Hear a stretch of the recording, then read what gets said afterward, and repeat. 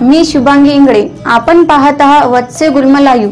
स्मशान हा शब्द जरी कानी पडला तर डोळ्यासमोर भयावह चित्र उभे राहते. अंत्यसंस्कार वगळले तर बहुधा कुणी स्मशानभूमीकडे फिरकत सुद्धा नाही.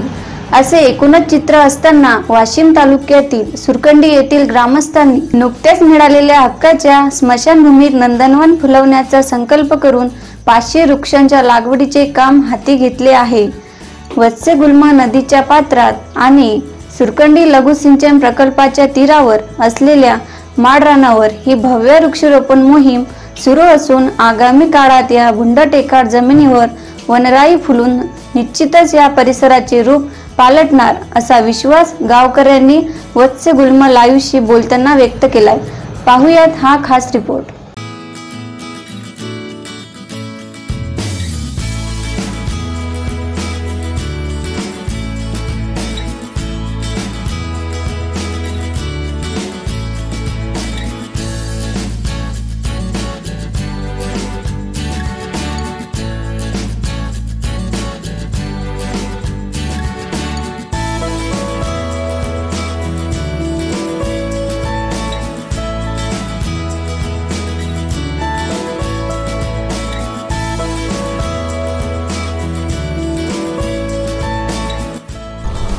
अण्णाभाऊ साठेंचा स्मशानातील सोनं हा धडा आपण या अगोदर अभ्यासला असेल.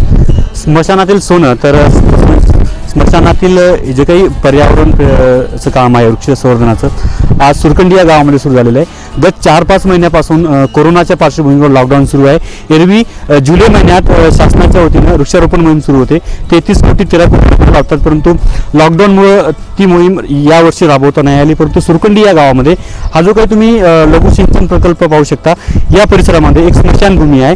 तर स्मशानातील वृक्षारोपण आज संपूर्ण गावकरी या मोहिमेत सहभागी होत आहेत जवळपास पाचशे वृक्षाचं रोपण या स्मशानभूमीच्या या बूटडेकाद जमिनीवर करण्यात येत आहेत. आपल्यासोबत आहेत स्थानिक गावकरी. जाणून घेऊयात त्यांच्याकडनं या मोहिमेबद्दल.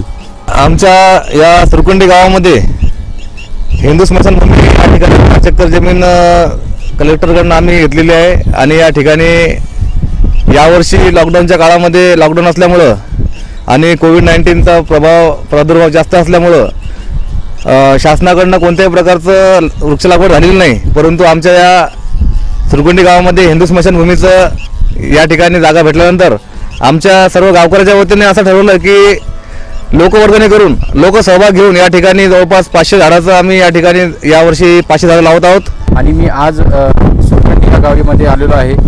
कारण आमचे मित्र गजानन धामणे सरांनी फेसबुकमार्फत त्यांनी का- काल जे वृक्षारोपण केलं आहे त्याचा एक व्हिडिओ टाकला आणि बघून मी या सुरखंडीमध्ये आज वृक्षारोपणासाठी आलेलो आहे. आणि या गावातील सर्व मंडळीने इथं या स्मशानभूमीमध्ये पाचशे झाडं लावण्याचा संकल्प केलेला आहे. आणि मला पण असं वाटलं की आपण तरी इथं हातभार लावण्यासाठी इथं आलं पाहिजे. आणि त्यामुळे मी कोकलगावरून आज सकाळी इथं आलो आणि इथं झाडं लावण्यासाठी मदत केलेली आहे. गेल्या दोन दिवसांपासून आम्ही गावामधील पन्नास ते शंभर लोक हे लावण्याचं काम करत आहेत. या ठिकाणीच आपण पाहू शकता की बाजूनच या ठिकाणी लघुसिंचन प्रकल्प आहे आणि त्याला लागूनच ही स्मशानभूमी आहे.